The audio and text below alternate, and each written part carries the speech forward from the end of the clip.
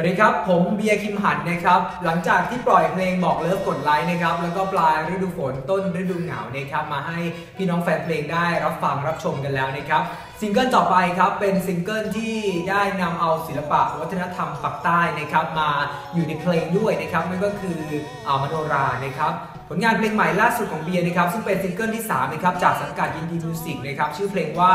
โนราเกาหลี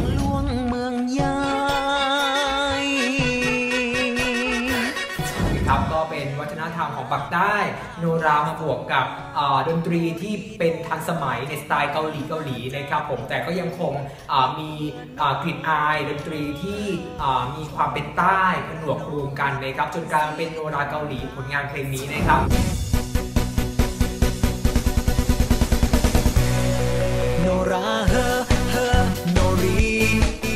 ยังไงก็ฝากสำหรับพี่ๆน้องๆนะครับทั้ง 4 ภาคทั่วไทยเลยนะครับไม่ว่าจะเป็นเหนืออีสานกลางใต้นะครับฝากซิงเกิลใหม่ล่าสุดของเบียร์ด้วยนะครับผมแล้วก็เร็วๆนี้ก็จะมีการถ่ายมิวสิกวิดีโอแล้วนะครับติดตามกันได้แต่ตอนนี้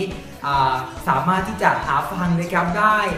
ตามคลื่นวิทยุทั่วทั้งประเทศแล้วนะครับยังไงฝากผลงานด้วยโนราห์เกาหลี